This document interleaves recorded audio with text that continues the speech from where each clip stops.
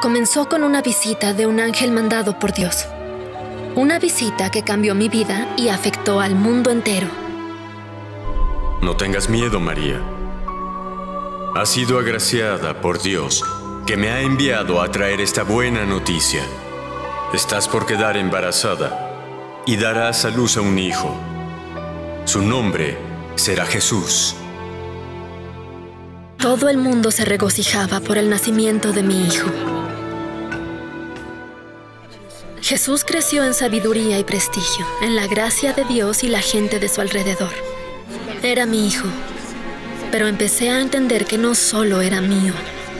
El Espíritu del Señor está en mí, porque me ha ungido para predicar las buenas noticias a los pobres, para liberar a los oprimidos y para proclamar el año de la gracia del Señor.